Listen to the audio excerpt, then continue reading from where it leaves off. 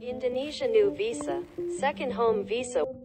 What you need to know about Second Home Visa in Indonesia. Indonesian government officially launched the Second Home Visa on 21th December 2023. This service will provide exclusive incentives to help lure investors for a 5 or 10 year extended stay in Indonesia, according to Indonesian government.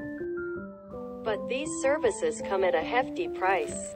With second home visa applicants required to either deposit Rp 2 billion, 128,361 United States dollars to Indonesia state-owned banks which cannot be touched in any way during their stay in the country or own a local property of equivalent value.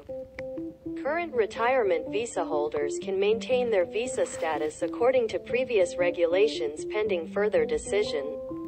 Compared to the previous retirement visa, which was applicable only to those aged 55 and above, the new second home visa has no age restrictions.